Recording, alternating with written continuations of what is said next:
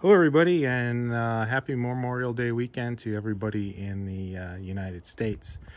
Um, this week, I wanted to make a video about leveling a sawmill bed, and um, it's been about uh, five, six months since I put in my sawmill, and I haven't uh, checked the the bed or the bunks or the track since then. And you know, we've gone through a season change. I'm sure the lumber in my base has dried out and and just you know, shrunk or moved. And so um, I'm getting ready to saw a bunch of lumber and I figured, well, this is a good time to check everything again and, and make sure it's it's all back to true because really having a, a, a flat sawmill base is, is probably the most fundamentally important thing uh, in a sawmill setup. I mean, if you want to look at the, you know, hierarchy of, of factors that go into cutting straight and square lumber, I think, you know, having a nice true sawmill base is probably number one on the list. So I want to talk about that today, and I'm going to show two methods. Um, I'm going to briefly mention one and then focus on uh, the second method. And so uh, let me start with the first method. If you happen to have a laser level, I've got one set up over here on a tripod, and this is a, a Bosch unit. Uh, I picked this up on sale couple years ago. Now, I'll give a link to this uh, as well as the tripod um, down underneath the video. But if you happen to have one of these, uh, this is a super easy way to true up your sawmill base.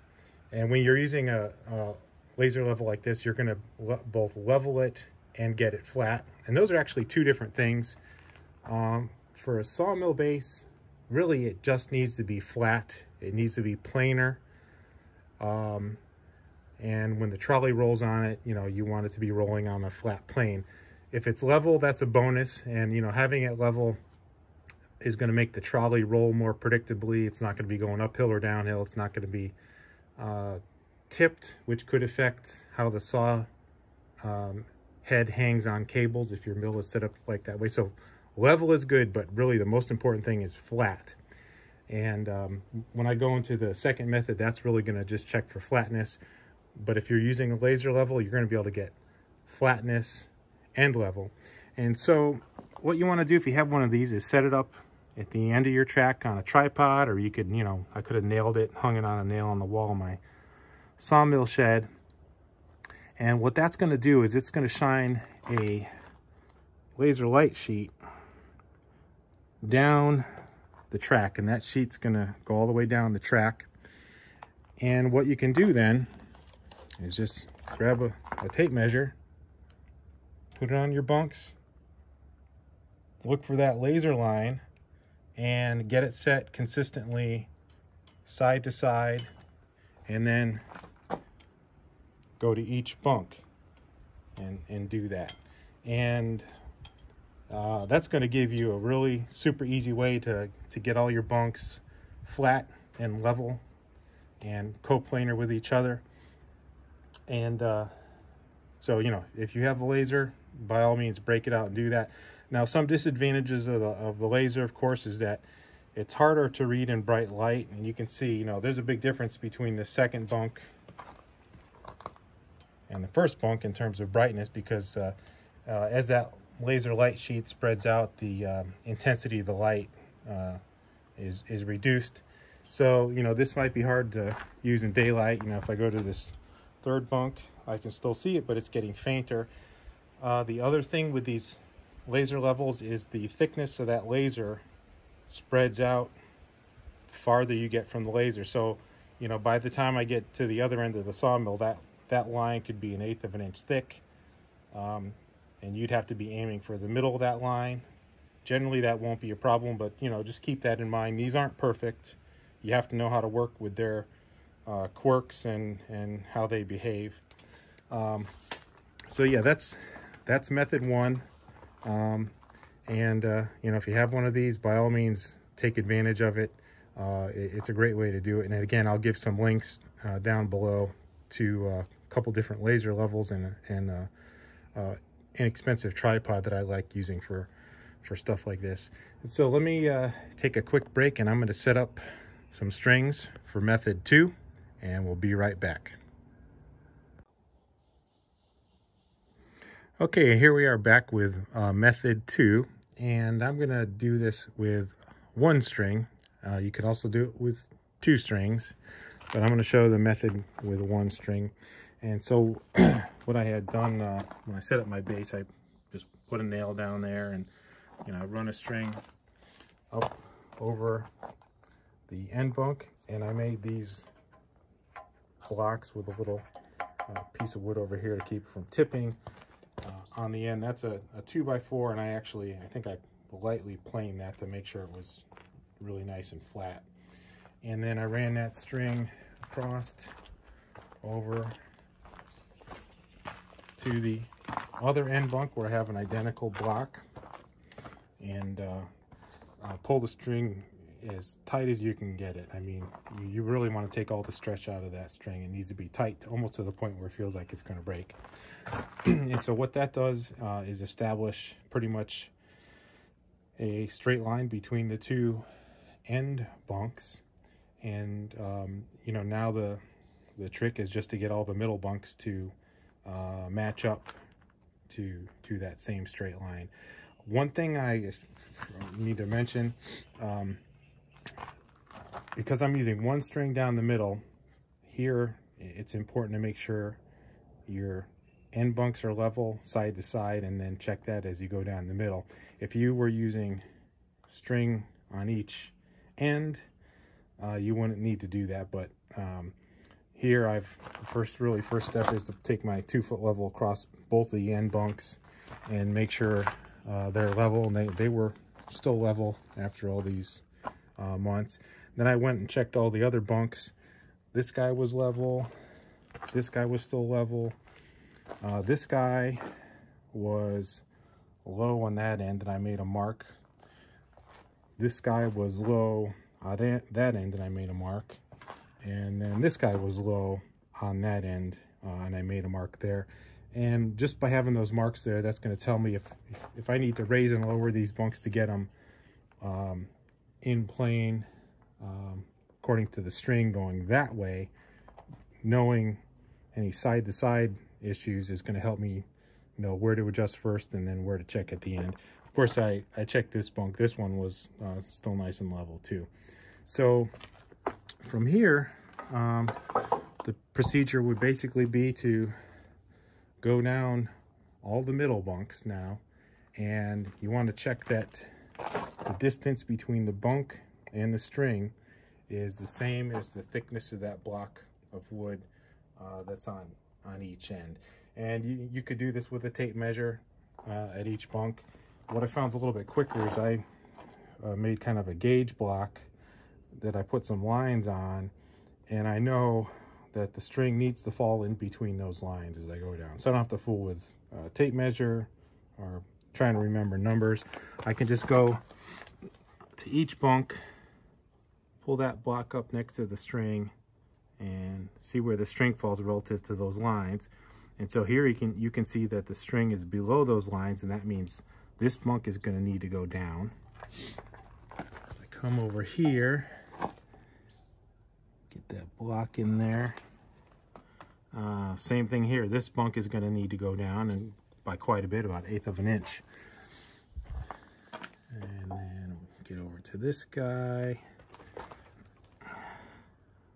Uh, this bunk will need to come down maybe about a 16th.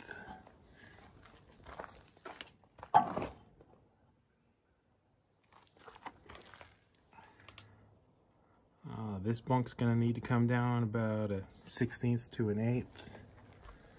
And then this guy over here.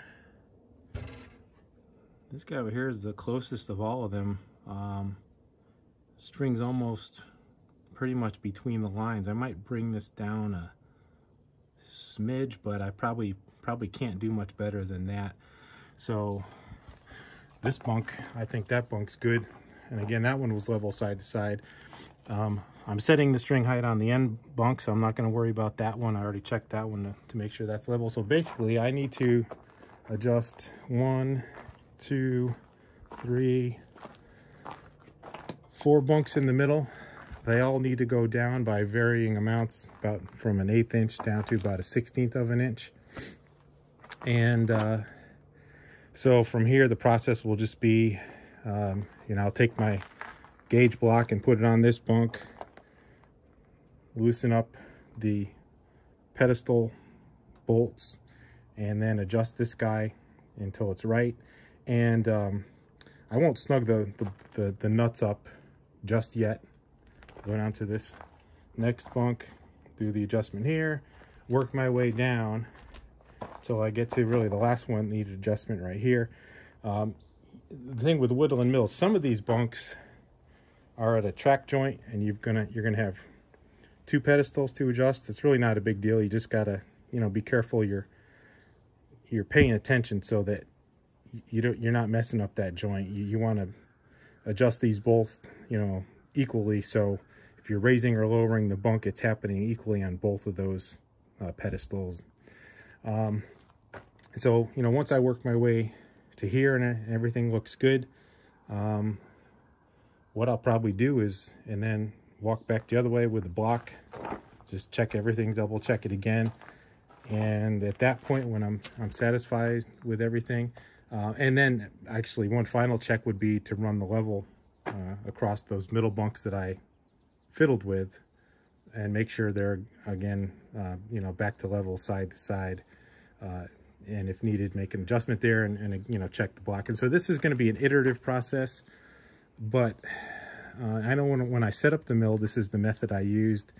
And uh, it really didn't take more than, you know, two passes to, to get everything right. It's kind of like a, you know, you, you do your best and then you come back back and you make a final correction and, and it works out really well. Um, and so I'm not going to videotape the nuts and bolts part. You know, you kind of get an idea what I need to do and, and the rest would be uh, uh, kind of boring to watch.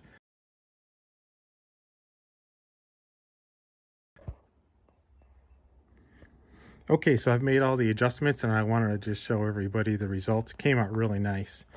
So if we come over this bunk here, you can see the string is right between those lines. And over here, bring that up. So right between the lines. Over here. Right between the lines. And over here. Right between the lines. And then uh, this next to the last bunk, I had originally thought I didn't need to adjust that. But uh, after I adjusted that guy, I came back and checked this one and it needed a, just a little bit of tweaking. You know, that's because these rails are connected. So if you uh, make an adjustment on one end, it could affect uh, the next set. And you can see I'm now I'm right between the lines here. So uh, this worked out really well. You know, after checking the, the block, I also verified that all the bunks are level side to side and um, it just works out really great. And you know, based uh, this method, I think really your accuracy is going to be about half the thickness of a string. So that's going to generally be about probably a 32nd of an inch, maybe a 16th of an inch if you want to be conservative. Uh, but it's just a real easy method, works well. Uh, I like using strings for all sorts of alignment and carpentry, and so I really trust this method, and uh, and I like it a lot. So that pretty much uh, sums it up for today. Uh, appreciate everybody watching. And I guess one key concept to remember is when you're truing up your sawmill bed, the most important thing is that it's flat. Level is good to have, but the most important thing is that it's flat and that all your bunks are in one big plane. And that'll give you really the most uh, uh, true and, and quality uh, cut of your lumber.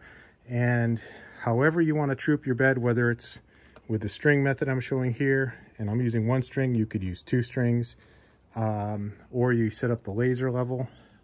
Both of those methods establish an absolute reference that you then set each bunk to match.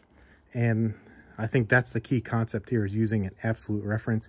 I know some folks will use a bubble level between each two bunks and then go between that two and these two and work their way down. The problem with that is that's uh, a floating reference And if you accumulate a little bit of error as you go along, you know, you could be way the heck off by the time you get down to the end, other end of your bed, especially if you have a long bed uh, like I do. So, you know, whichever method you use, make sure you're using an absolute reference. Use your first and last bunks to set up, you know, a straight line between two points and then get all your other bunks to be coplanar with that reference. Thanks for watching.